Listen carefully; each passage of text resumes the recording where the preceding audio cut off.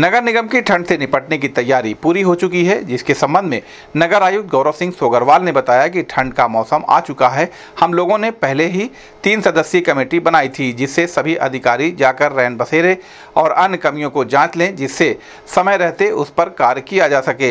उन्होंने कहा कि कमेटी ने अपनी रिपोर्ट भेज दिया है। अगले सात दिनों के अंदर सभी कमियों को दूर कर लिया जाएगा। इस संबंध में गोरखपुर न्यूज़ से बात करते हुए नगर आयुक्त गौरव सिंह सोगरवाल ने कहा। सर्दी जो आ चुकी है इसके अंतर्गत हमने यहाँ पे पहले ही तीन सदस्य कमेटी बनाई थी। इसमें पीओ डूडा के माध्यम से हमने सभी रैन वसूलों का निरीक्षण करवाया था और सबका गैप एनालिसिस करवाया था कि क्या क्या कमियाँ हैं। जो जो कमियाँ हैं, उनको चिन्हित करते हुए उन कमियों को दूर करने के लिए शीघ्रतिशील कार्रवाई करें ताकि नगरवासियों को कोई भी जो हमारे उस रैन बसों का उपयोग करना चाहते हैं, खासतौर पर रात्रिकालीन में, उन उन व्यक्तियों को, उन हमारे सभी लोगों को किसी प्रकार की समस्या का सामना ना करना पड़े।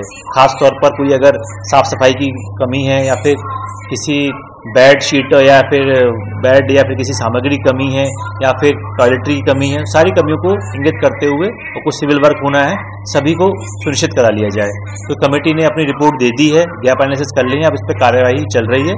अगले सात दिनों के अंदर इन सारे जो गैप्स हैं, उसको सब पूर्ति कर लिया जाएगा और एक बेहतर तरीके से रंग बसों को गोरखपुर नगर के लिए यूज़ किया जाएगा।